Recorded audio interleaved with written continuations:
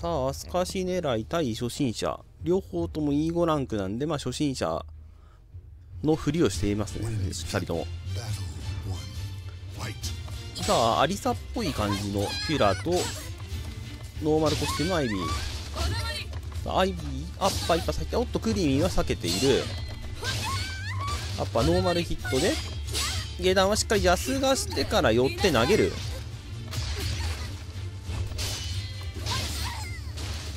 さあ、画面端落とす位置にはならなかったが、これはちょっと厳しいが、入れ替えて、これは、あ、落とせない。が、下段で落とす。さあ、1本目取ったのは、えー、殺意を覚えたリッキーさん。さあ、開幕、間合いを取って、さあ、下段にアッパー勝ち合わせて、きっちりダメージ取っていく。一瞬待ってしゃがんだところにアッパーが刺さる。2K で止めて、これがどう？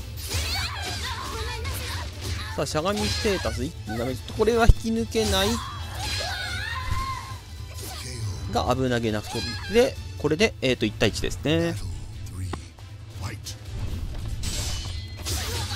A で暴れていく。2A で止めて、おっと、上段回避して、アッパー。これカウンターで入るからゲージを使ってダメージ取っていく。しゃがみガードしてきっちりかカーン。スカ角 ?2A で止める。ジャスガが先に出てしまった。ガーフチラスカしてアッパーで、最後は起き上がりに中断がされ。リーチをかけたのは、えー、リッキーさんですね。